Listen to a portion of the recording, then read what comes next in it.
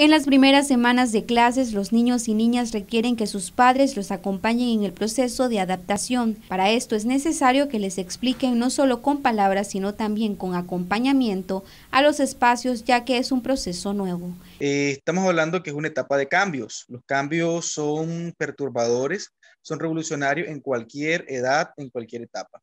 Entonces, el niño que ingresa de estar en una familia, y, aquí viene algo muy importante, el tipo de familia en la que él estaba, si es una familia muy grande o si es una familia pequeña. Si es una familia muy grande, entonces el cambio de, a socializar en un colegio le va a ser menos dificultoso que aquellos niños que vienen de familias pequeñas. ¿Por qué? Imagínate un niño que viene de una familia de 3, 4 personas y de pronto lo llevas a una sección donde hay 10, 15 niños, un docente, eso es eh, catastrófico, eso da pánico. Y eh, entonces ese cambio el niño lo enfrenta. Ahí tenemos otros fenómenos que llamamos, por ejemplo, hay algo que se llama el apego.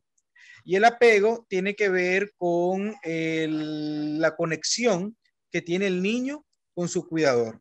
Si la conexión que tiene el niño con su cuidador le da paz, le da tranquilidad, le da confianza, si él sabe que mamá o que la abuela va a regresar al colegio, si él sabe que la familia está pendiente de él, le va a ser más fácil adaptarse al colegio. El psicólogo Roberto Ordóñez brinda algunas recomendaciones puntuales para sobrellevar dicha situación. Muy importante darle confianza a nuestros hijos, que nuestros hijos se sientan confiados, se sientan seguros que vamos a estar ahí para ellos, que vamos a estar ahí con ellos, que somos sus padres y los amamos por encima de todo. Número dos, no usar la violencia, por favor. A veces los regañamos y los tratamos para que se queden. Quédate aquí, punto, o te pego, o si no te quedaste, castigo. No, no es necesario usar la violencia. Motivemos, sensibilicemos, los conversemos con ellos. Y número tres, escucharlos.